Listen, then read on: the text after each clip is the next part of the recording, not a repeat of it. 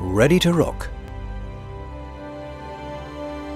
The unique rocking mode plays a large part in helping to free vehicles that get stuck in difficult terrain.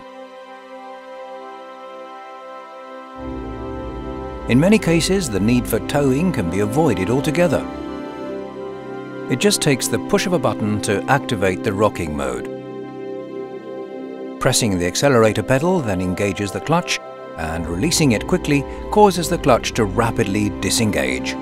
This causes the vehicle to roll back and it begins to rock until the rocking movement becomes so strong that the Arocs frees itself from its predicament and can continue on its way.